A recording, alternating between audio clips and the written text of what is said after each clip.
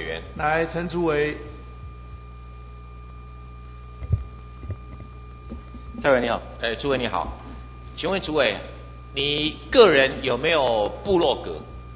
我没有，你个人有没有脸书？没有，啊，都没有哈。那么请教陈主委哈，在脸书跟部落格上面啊，有一个会员名字叫做苏贞昌，你听过没有？我这个不晓得，因为我最近又比较忙，我不是对这个 你认不认识苏贞昌这个人？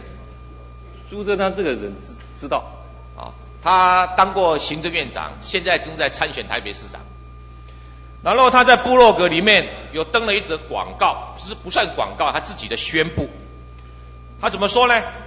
他说他现在哈、需要在台北市仁爱路的圆环，一个以前远东百货那一栋大楼楼上有个看板，这个看板呢需要四十万元来做广告。然后他公开征求股东，说他希望四十个股东一个一万块，让他有足够的资金来登这个看看板。然后他说很明确的哦，他说募集完成了以后会开股东大会。请问主委有没有违法？这个部分的话啊，如果是以这个经营事业为目的啊，然后去邀请公众来参加，当然属于发行行为了。但是呢，因为蔡委员现在跟我这样的一个讯息，我其实我掌握的不够清楚，所以我可能还是要去了解一下。所以今天如果有任一个候选人说，我要在这大马路上贴广告啊，插旗子，那我需要这个五十万，我开始征求股东啊，在林德福一万块，费用他一万块，赖世宝一万块，我征求股东，在座每一位女士先生啊，那征集完成以后开股东大会，哎，可不可以？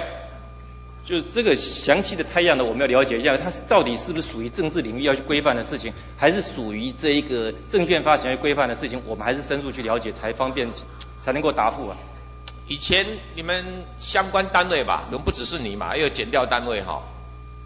对于某一些宣称有土地，然后要切割，然后土地收募集资金了以后，说哎，这个证券化啊，成功了分给他们，你们通通用一堆违反什么银行法、违反什么什么证券交易法的什么法，就把这些人啊移送法办。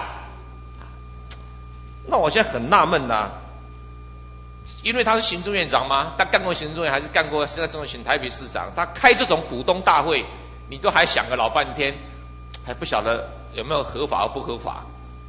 会这么复杂吗？股东这两个字从哪里来的？请问诸位，股东这两个字从哪里来？股东是啊，哎对公司法里面的公司法其实这样子的，这是商业上面一直经常用的用语啦。是啊那譬如说，我们如果大家哈、大家哈、合伙哈、去搞一个商号哦，其实也可以叫股东啦。所以他在观念上面呢，他并不限于这个哦商号也可以叫股东。呃，有啊，可是那如果不是实务上面商号就不能叫股东。我是说，在通念上面，股东这个这个用语的概念，其实比公司法的股东的用语宽呐、那他们共同经营一个事业，就是去登一个广告，这个广告是苏贞昌要竞选台北市长，然后这个钱募集完成啊，他还宣称要开股东大会。股东大会是什么？是什么东西？是商号的股东大会，还是公司法登记股东大会之外的？可不可以称股东大会？这个同样的、哦，刚刚提到就股东这两个字的名字啊，名股东在这通联上面其实它范围比较广啊，所以它的太阳到底怎么样子啊？这其实还是必须要深入就它的实际的情形去了解了。那实际情形到他的部落格上这样写啊，而且他算合伙人吧？要我我想哈、我想这个今天这个蔡委员让我们了解有这一回有这件事情嘛，其实至于说他的这种要到底要对怎么样对他评价，还是要深入去了解了。哦，就是跟你们主管没有关系，这算不算公开募集？算哦，公开募集哦，他这个到底他是不是一个政治活动，还是说是属于这个募集啊设立某一种事业，这个事业是要登广告，在仁爱路圆环上面登广告，这是募集资金的行为啊，还要开股东大会啊。怎么视若无睹？事业事业是一样的，事业其实它基本的前提是要负担盈亏的，啊是负担，而且以这个经营获利为目的的。是。所以这个部分到底是属于政治？所以任何一个不以获利为目的的，就可以声援募集股东，征求股东募集资金，然后开股东大会。只要不以盈利为目的，用别的，比如政治运动啦、社会运动啦、公益活动啦，通通可以。你先讲好，如果以后不处罚了，我们就鼓励大家，全部大家来开股东大会。只要不以盈利为目的，我们先讲清楚哦。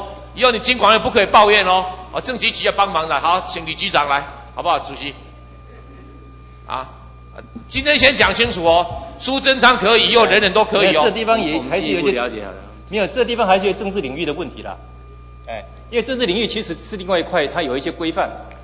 哦，所以政治领域的话，就可以公开募集资金，然后可以可以诶征求股东，可以开股东大会。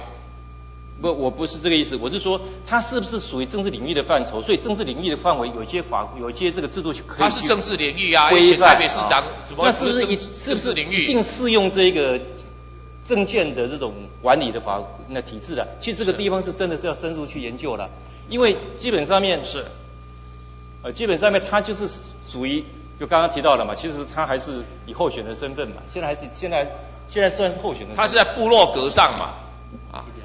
哎，李局长，你觉得呢？我们去了解好了，我们了解，你们了解一下。哦，先讲清楚。如果苏贞昌可以哈，以后有人拷贝哈各式各样的股东大会，你们就不可以抱怨哦，也不可以随便开罚单、随便处罚人家哦。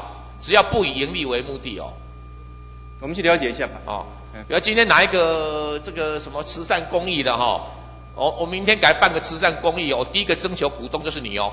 哦，我们开始来推动这些股东大会哦。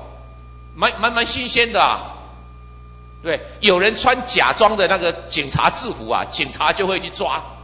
现在有人假装是股东，募集股东的资金，你们说我们不知道，有点奇怪啊，查一查啊，对不对？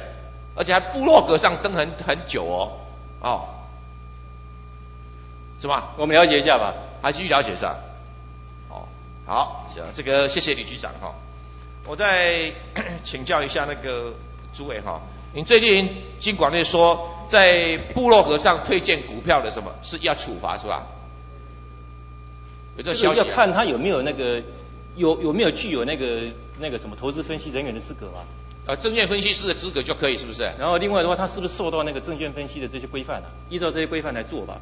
所以在部落规范的或脸书里面发表发表股票分析，这个部分是不是请那个李局长来？啊，李局长你觉得？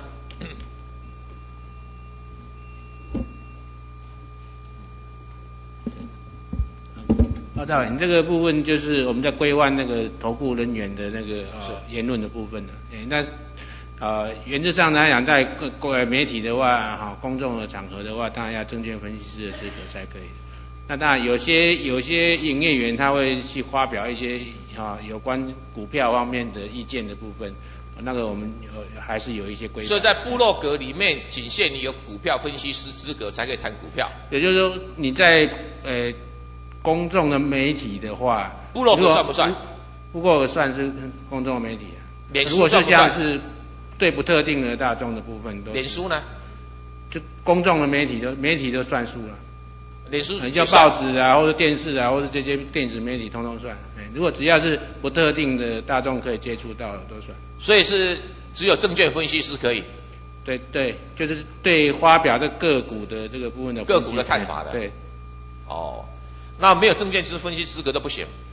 不行，就是不是说不行，就是说，呃，如果是纯粹是呃非我们投顾事业的这些营业人员，或是这些哈呃。受雇人的话，啊，基本上他言论如果没有去招招揽这些会员呐，或者不是证券公司啊，比如说什么瑞展产经啊，也不是证券公司的呢，就是看他是不是属于言论自由的范畴了。就是说你不能借这个去招揽会员，招揽会员去直接或间接去招揽会员，或者收取直接间接。那如果这个以外的，像什么瑞瑞展产经公司啊，他他爱怎么评论股票都可以，对啊。如果他是没有去直接间接受有报酬的话，那就是依依大法官会议的解释，他是说属于是言论自由的范畴。哦，所以你约束的范围只是证券从业人员，对，从业人员，从业人员以外就无所谓。那就是看他是不是呃，如果有这种分析的话，是不是有直接间接招收会员收取报酬？哦，没有招收会员就可以发表。就就是看他有没有收取报酬啊，直接间接收取报酬。如果有的话，就等于是在执行投资顾问事业的业务。那如果没有执照的话，就等于是地价投顾啊。哦，就所以刚才那个卢那个卢秀委员讲的，就是说有一些外国的什么写报告啦，然后他他随便发表啦，媒体登一登啦，那最后双手一摊，好像没他的事一样。他也不是证券从业人员，他搞不好是什么，不，那还是要看的、就是说纯粹这个研这个他没有报道收会员啊。对，那另外一个就是说，你有没有借这个消息在炒纵股价，那是另外一个操纵的问题哎，那是另外一件事。所以你有这个事实，还要看看是不是在市场上有操纵。